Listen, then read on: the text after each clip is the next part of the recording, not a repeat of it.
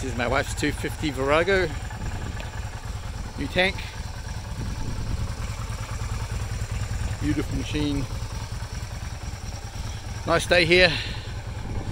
I thought I'd uh, take it for a ride.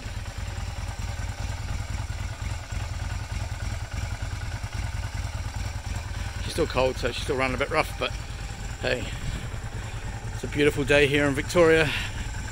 Being regional, we can go where we want, except Melbourne. So, yeah, here we go.